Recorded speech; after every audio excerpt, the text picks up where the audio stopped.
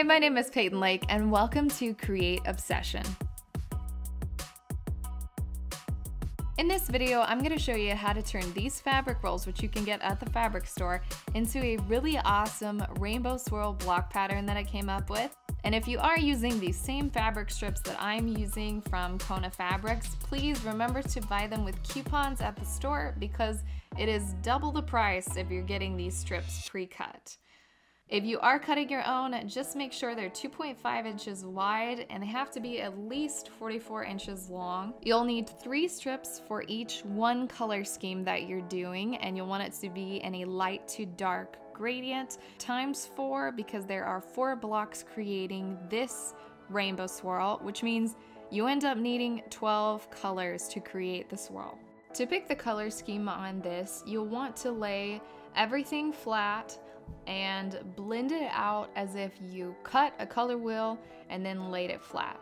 So that's what I did here. I laid all my yellow to green and then I knew green would go to blue, blue to purple, then to red and to orange. And of course those light, that light orange piece would blend back into the yellow to make the whole color wheel. I just picked my three blocks based on the three that were right up against each other. And that's how I chose the four color schemes that I had. You'll start off with ironing all the strips flat to make sure that when you get ready to sew, it sews together really nice.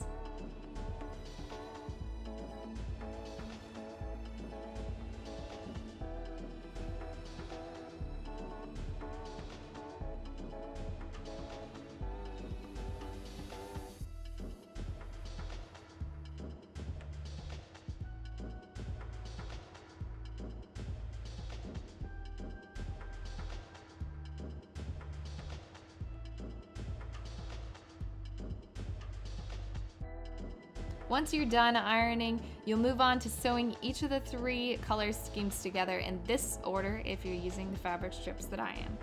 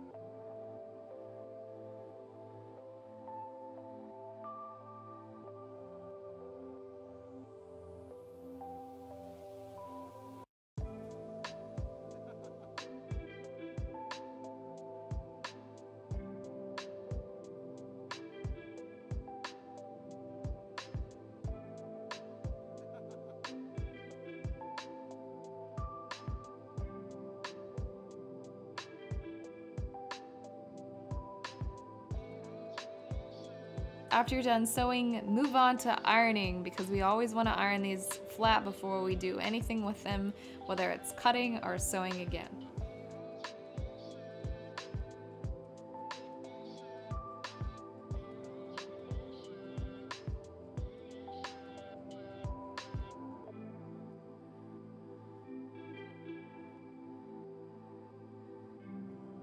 You'll continue the ironing, sewing, and ironing three more times per the tricolor strips because we have four different color schemes going on. And if you're using the fabric strips that I'm using, you'll do it two times since there are two strips of each color. To cut these into squares, my strips ended up being six inches wide, so I cut them six times and ended up with seven six by six inch squares. And of course I did this two times since there were two strips of each color in the fabric roll.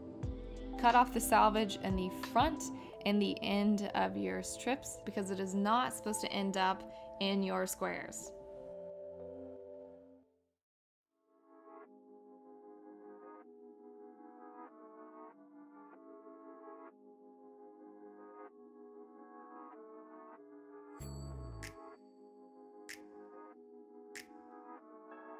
Once you're done cutting everything, you'll move on to sewing it. I typically sew the top two together first, then sew the bottom two, and then I can sew top and bottom together. And I did this process throughout the entire time I was creating these.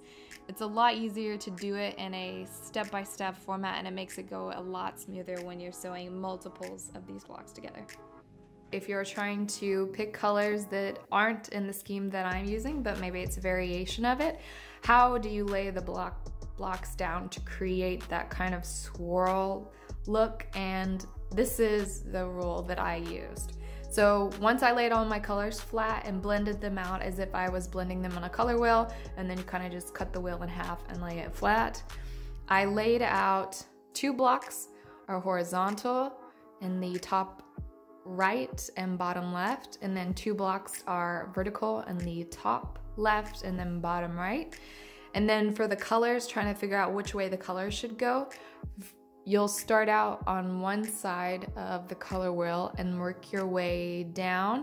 And then when you hit the second block, you'll just go straight across this way. So it's as if you're drawing an entire square, the colors that match up here have to be in that line that you created of the colors. And then you'll go up and that's the next color and back over to the yellow at the top. So that's how I did it. It's like if you drew an entire square surrounding the borders, that's the color scheme that you need to build your blocks into with horizontal, horizontal, vertical, vertical. When you're done sewing your block together and squaring it off, it'll be about 11 inch square to 11 and a half inch square. If your seams are a little more scant than mine, you may end up with a 12 by 12, it just depends. For me, my seam allowances end up being around 3 eighths of an inch, and I think the standard for quilting is 1 fourth of an inch. So whatever works for you, that ended up giving me the 6 by 6 blocks that I was working with. When you're done, you can sew all these blocks together to create the repeating rainbow swirl pattern or just use them on whatever projects you want. I'm using mine to create a baby blanket, which is 43 inches wide by 53 inches long. I'm not quite done with it, but I'm super excited. I did use three less blocks of each color. So 12 less blocks than what you'll end up with if you're using the fabric strips. And that's all I have for you in this video. I had a lot of fun creating this pattern. I'd love to see if you take inspiration and create your own version, or even if you do this exact same pattern, let me know in the comments below how it works out for you or if you have any questions, I'd love to answer. Bye guys, thanks so much for watching. Be sure to click the subscribe button below if you wanna see more like this and hope to see you in the next video. Peace out, bye.